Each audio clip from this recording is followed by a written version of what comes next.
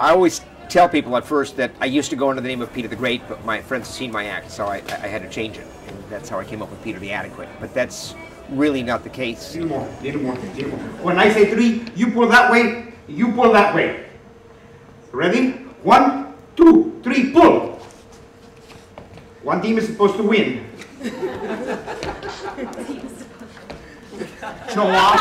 Okay, let go, go, let go, go. Let go, show off. My magic is all about a psychological play between me and the audience. Oh, silly me, it's the masks. You all have different masks. You're a little rabbit, you're a little cat, and you're.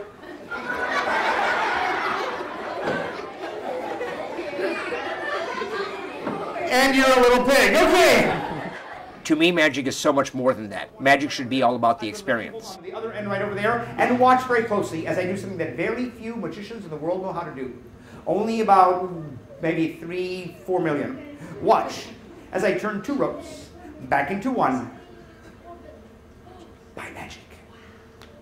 Do you like that?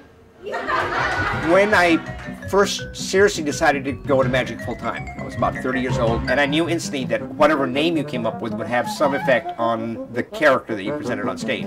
This is actually a little dog, a little French poodle. His name is Pierre. Do you know why his name is Pierre? He's a balloon, that's all he can do. So I tried going with comedy of Peter the Terrible. Was that your card? Really? Again, it was putting myself down too much. So I played with Peter the okay, Peter the so-so. You don't look very impressed, Linda. You don't like the knot there, do you? Would you rather have it over there? How about if I let you keep the knot and uh, When I stumbled across, as I was playing with those different options, I came up with Peter the Adequate.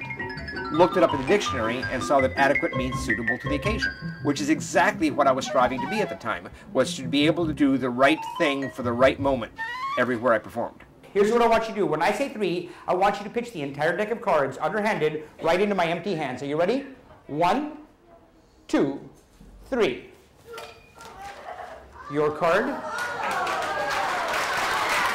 Give him a big round of applause. I always liked it when you did that trick. Thanks.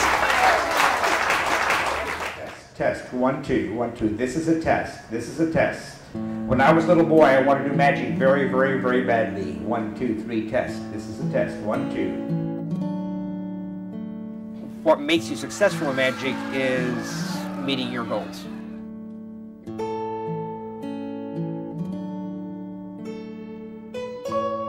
If you really want to be successful, being likable is far more important than anything else.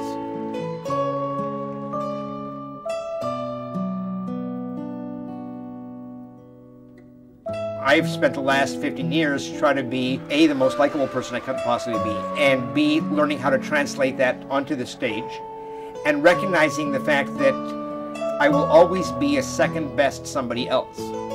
But nobody can ever be as good at me as I can.